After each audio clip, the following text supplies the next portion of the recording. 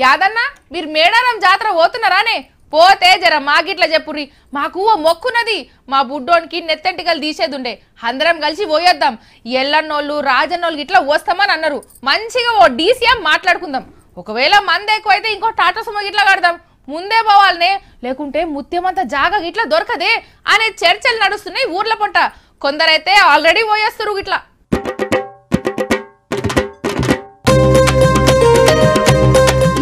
Public ఏం public?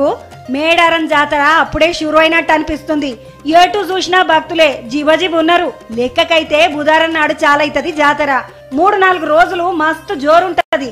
ఆ time కాలు పెట్టే సందు ఉండదాయే. గద్దెల కాడికి కూడా పోనీయరు.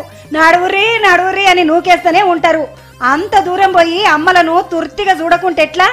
ఆగో గాంధీకే ఇప్పుడు పోయేస్తుండ్రు అన్నట్టు చాలా మంది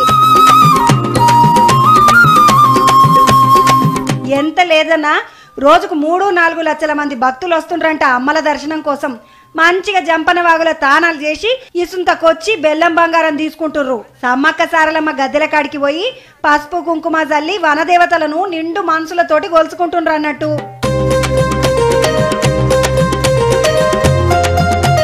యమలాడ రాజన్న గుడికి కూడా బగ్గొస్తుండ్రు భక్తులు.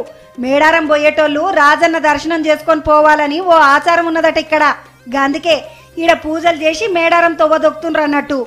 ఇంత భక్తులు వస్తుంటే సౌలత్లు మంచిగా చెయ్యాలి కదా. ఆగో ఏడి చెత్త ఆడనే ఎట్లుందో చూడుర్రి.